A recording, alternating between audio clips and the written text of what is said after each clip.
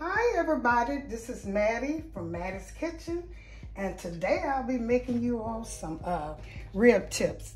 This is St. Louis, this is a St. Louis cut and I had went into Publix and they cut it for me. It was it was about uh, I say about this long and about half of this uh, width and I had him vein it for me and he cut it into pieces that I wanted.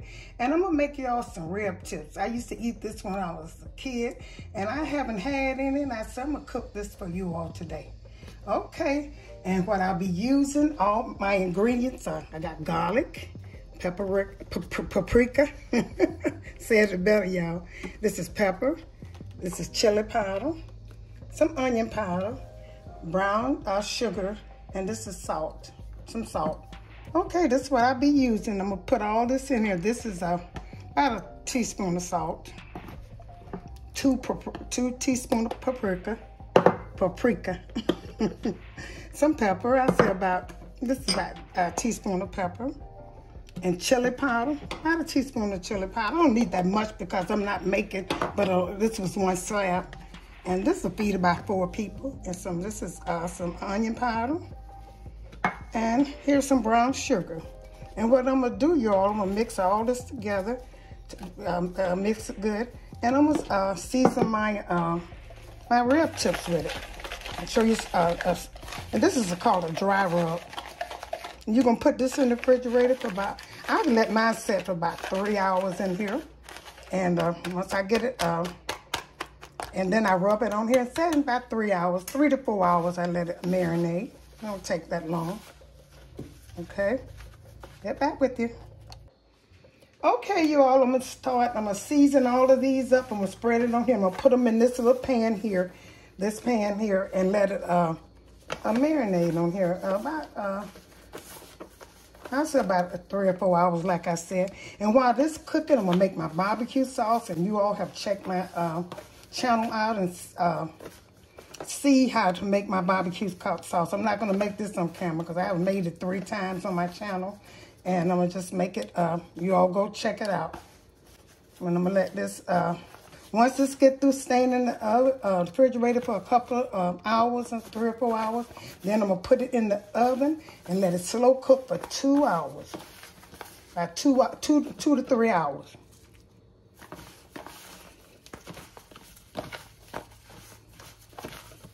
Okay, y'all.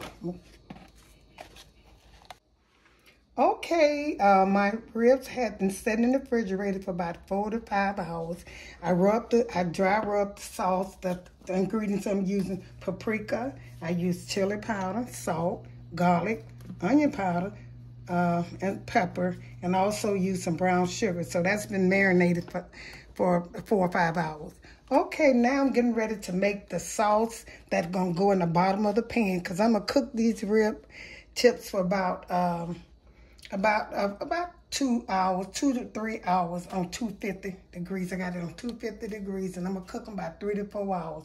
So right now, what going to be using for this right here, for the sauce, I'll be using some uh, vinegar, half a cup of vinegar, some wine, cheap wine, just this pineapple flavor wine, and a half a cup to mix together and some brown sugar. That's all I need for that.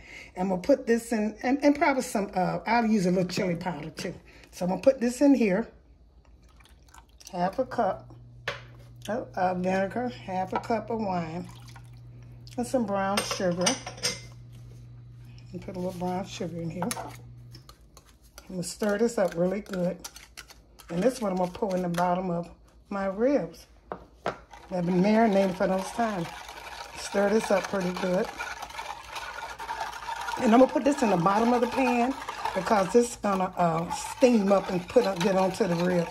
And, while this cooking, and I'm gonna make my homemade barbecue sauce. And I made it several times on my channel. So just go on my channel and see how you make barbecue uh, sauce. I'm not gonna make that on with this video. Okay, and I might put a little, I said chili powder, just a little bit little bit. That smells so good to me. Oh, that smells good. Now, yeah. Like I said, this going in the bottom of the pan. So I'm going to put this in here. This is wine, brown sugar, and a little vinegar. So I'm gonna pour this in the bottom of this pan. i will be using this pan right here. And we'll pour this in the bottom of the pan. Okay. Okay. And these rib tips, they've been marinating. I know this is gonna be good, yeah. Been marinating that long, so I'm gonna set these in here. And like I said, I'm gonna let this slow cook for about three hours. I'm gonna check them, see if they get tender. Then I'm gonna finish, I'm gonna make my uh, barbecue sauce, like I say, um,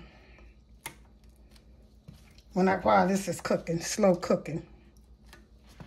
And just go to my channel, it'll tell you how to make barbecue sauce.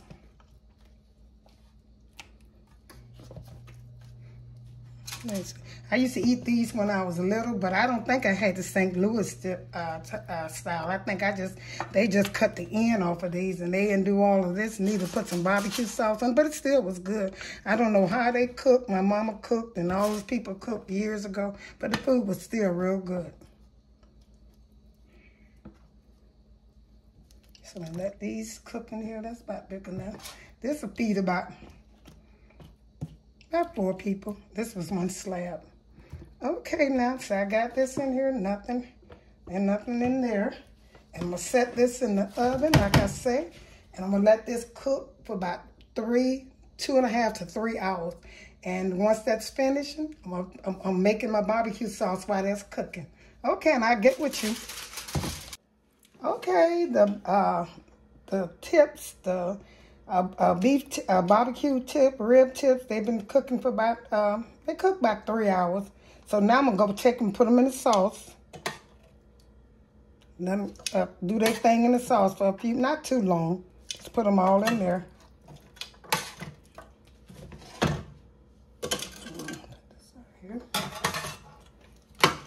I made my sauce, you know, from a uh, scratch. I made it from there from my uh, channel. Mattie's uh, I got barbecue on my channel. Two times I made it, but so I used that. I'm putting these in here. These are so tender and good. I taste them. They season good enough.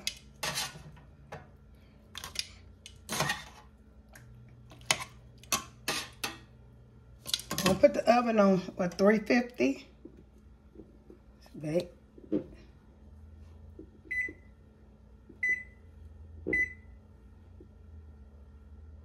Okay. set these, then I'm to put these on here and let them cook a while, about 30, excuse the noise, y'all, and let it cook about 30 minutes with the barbecue sauce on it. And then I'm to put it in the broiler. It's some good sauce. And It is easy to cook. If you don't want to get that uh, St. Louis uh, strip, it's a little cost a little bit more. Just get a spare rib and cut it off yourself. Cut the tips off. You can cut it off. And make sure you devein it. Take the back off so it can cook good. Okay. And I'm gonna set this aside.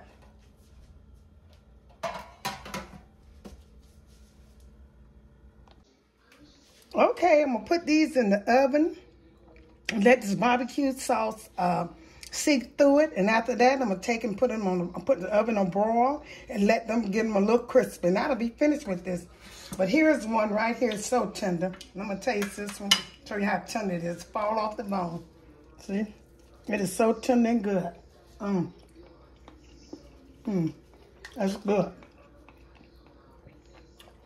When they season good, just follow my instructions. Make sure you use that um, my barbecue sauce.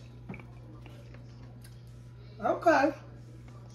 Get back with you when they cook for about 30 minutes. Here's the finishing of my rib tip, the last step. I'm to put them on this pan and get them ready to broil. I set mine in here so that sauce can go through it and so it can be, you know, you don't want, once they broil, it, will be stuck, the sauce will stick on here. That looks so good and they taste, it's so tender called rib tips. Some people let them, well, how they serve them, like if in the restaurant, they take and let them stay in the juice. I don't like for mine to be in the juice. Now, you can let them stay in the juice if you want to, but your juice is not won't be as thick as mine. Okay, I'm put these on broil for about a minute or two. Turn your stove on broil. and let them let this sauce just get on top. Pretty out there, so good, and they taste so good. My sauce is delicious. Okay. Y'all, this is Mattie from Mattie's Kitchen, and here's the results of my uh, uh, St. Louis uh, spare rib tips, and they are so good, taken from the spare ribs. And you can do it. It's so follow my instruction. It's a good side dish you want to eat. You can have a potato salad with it. You can have anything you want, string beans. It's a good uh, uh, dish for the holidays. It's simple. If you wanted the bones off, you can cook it with, with the bones on it without cutting it in, in little uh, bits, bite pieces. Or you can cook you can cook it whole and make sure you devein it. Once you if you're gonna cook it whole it's easy for them to cut it in pieces like I did you know. Thank you for tuning in to Mattie's Kitchen. Don't forget to subscribe hit that notification bell and share it with friends and family. Thank you for tuning in to Mattie's Kitchen